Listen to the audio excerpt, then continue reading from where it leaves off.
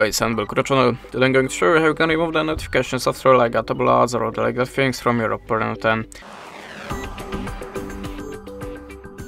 So to start if you see something like that in your notification bar or you have a spamming pop-ups when trying to visit any site, that means you have notification software. And you can try to remove it by two ways, system settings and antivirus app. So I'm gonna show you the first method, open the settings,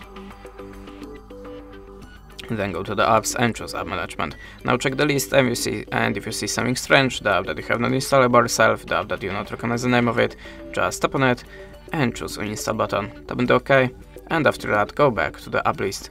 Then look for your web browser.